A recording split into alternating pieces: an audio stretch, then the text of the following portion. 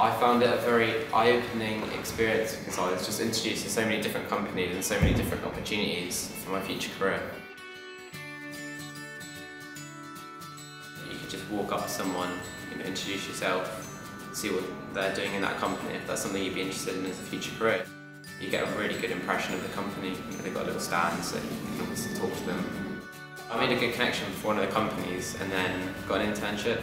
When you spend a week with that company, at the end of the week you can very quickly tell if you're, if you're enjoying what you're doing and that's how you can discover what your true passions are.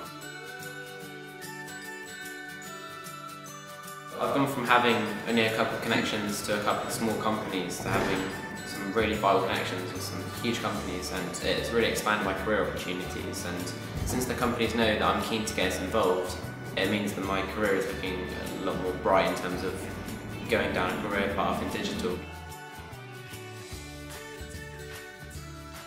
Having a mentor from a company would really benefit me to understand how the company works, what skills they want from me, and then just seeing what's the right role for me, what I settle in as, and what I ultimately enjoy doing, because that's what's really important to me.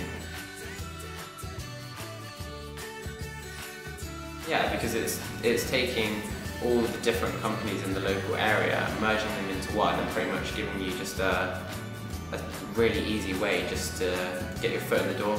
Digital Horizons is a project I definitely recommend.